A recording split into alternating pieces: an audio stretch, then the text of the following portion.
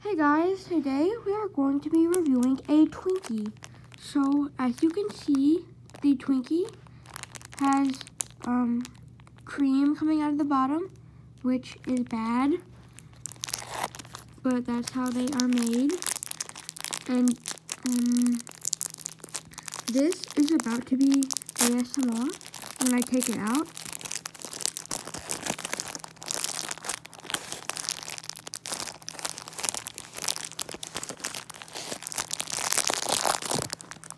Okay, so that's how I got it out. It's good enough. So, as you can see, I messed it up whenever I was taking it out. And now it's all messed up. But we'll just ignore that.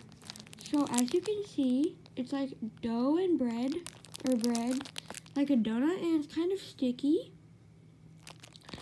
And I will take a bite and show what it looks like on the inside. So as you can see, there is cream in the middle. The cream is kind of salty, but it's really creamy. And the dough on the outside is sweet. And it tastes good. Um, I think I'm going to have to give this Twinkie a 10 out of 10 and a thumb up because it's very good. Would recommend to everybody because it's good.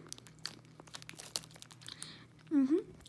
And thank you for watching and have a nice day.